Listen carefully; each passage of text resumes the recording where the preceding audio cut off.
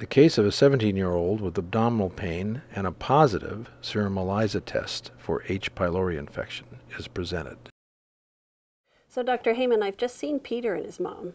Um, he was referred here from his family practitioner um, for some history of epigastric pain. Okay. Seems like he's had it about three times a week.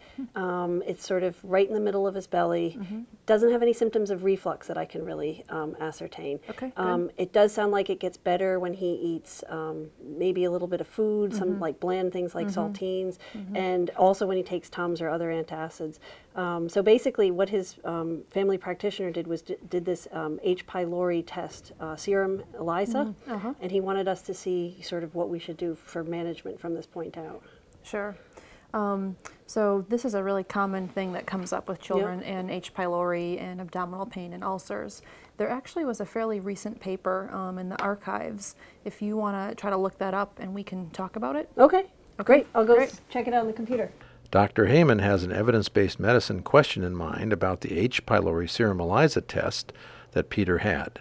She has asked Dr. Craig to find the paper that may answer her question.